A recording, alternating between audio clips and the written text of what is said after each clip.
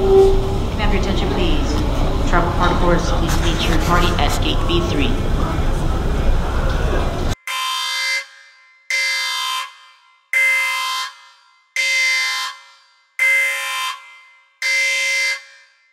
Please listen very carefully.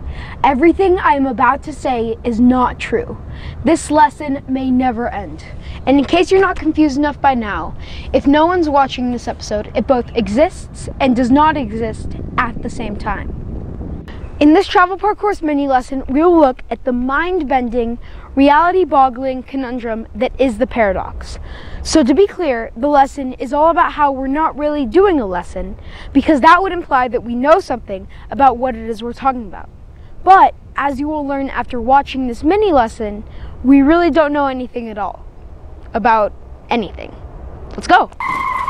First off, we have to define what a paradox is. A paradox is a statement that contradicts itself, or a situation which seems to defy logic.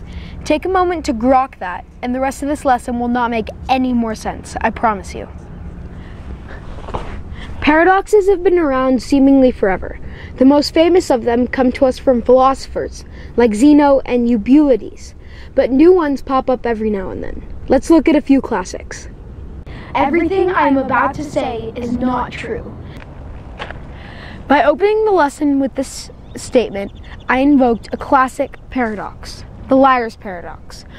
If someone says, I always lie, are they lying or telling the truth about being the liar?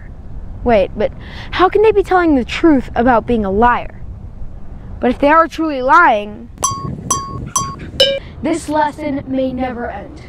This is an example of the dichotomy paradox. When you started watching this episode, you knew at some point you'd get to the end. To get to the end, you have to get to the halfway point. But there's a halfway point to your halfway point, so you have to get there first.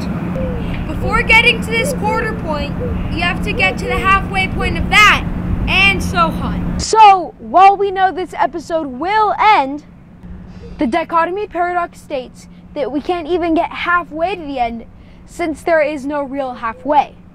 And if there's no halfway, how can there be a final destination? If no one's watching this episode, it both exists and does not exist at the same time.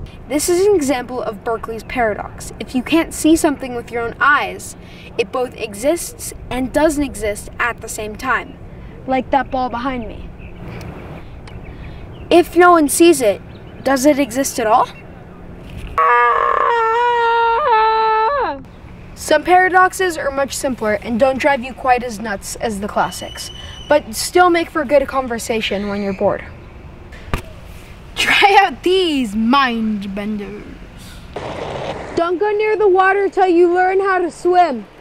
Answer truthfully to the following question Will the next word you say be no? A girl goes into the past and kills her grandmother. Since her grandmother is dead, the girl was never born. If she were never born, she never killed her grandmother. What happens if you turn on your headlights at the speed of light? And finally, the paradox of inquiry contends that if we don't know what we don't know, how do we know what to look for to learn it? Wait. Now that we've ruined your day, take some time to think about other paradoxes in life and put them in the comments so you can contribute to other people's misery. This is Kellum signing off.